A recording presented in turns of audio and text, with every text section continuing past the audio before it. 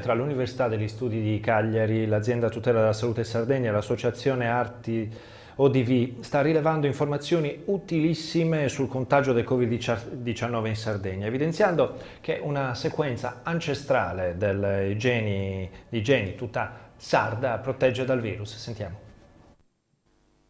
Il contagio del Covid-19 in Sardegna prosegue inesorabile la sua corsa, ma meno delle altre regioni d'Italia. I numeri attestano una mortalità sul 2%, ovvero la metà rispetto alla media nazionale, e un indice RT tra i più bassi. Anche la positività agli anticorpi anti-SARS-CoV-2 nella popolazione sarda, pari allo 0,3%, secondo i dati Istat del 3 agosto, poneva la Sardegna agli ultimi posti in Italia come popolazione entrata in contatto con il virus. Questi dati potrebbero essere collegati alla chiusura repentina dei porti e degli aeroporti dal 9 aprile al 15 giugno, alle misure di distanziamento sociale, all'uso delle mascherine e a tutte le altre strategie messe in atto, ma non solo. È nato uno studio volto a ricercare quei fattori clinici e immunogenetici che potrebbero spiegare la bassa incidenza di infezione di SARS-CoV-2 e di quadri clinici gravi e mortali del Covid-19 in Sardegna, dato che ormai è dimostrato che la popolazione sarda, a seguito dell'insularità, presenta caratteristiche genetiche omogenee e peculiari.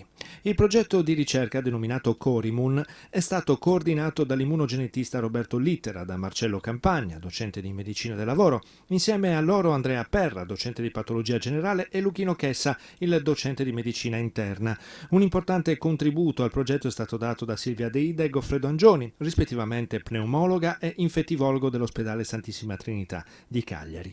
Lo studio è stato pubblicato sulla rivista Frontiers in Immunology e dal lavoro è emerso che nella popolazione degli individui infettati è assente un particolare assetto genetico caratteristico della popolazione sarda, una sequenza ancestrale di geni denominata aplotipo esteso, che risulta quindi protettivo nei confronti dell'infezione. In altre parole, le persone che lo presentano sembrerebbero non ammalarsi di Covid-19. Tra le altre caratteristiche studiate è risultato avere un effetto protettivo il fatto di essere portatori di beta-talassemia, il gene mutato che determina la talassemia o anemia mediterranea, e aver effettuato la vaccinazione influenzale nella passata stagione.